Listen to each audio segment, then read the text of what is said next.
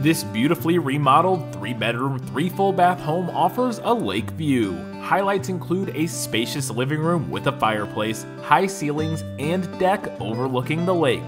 The kitchen offers stainless steel appliances and granite countertops. There's a beautiful master with a luxurious bath, a private yard, and much more. Call Nita today to see this amazing home.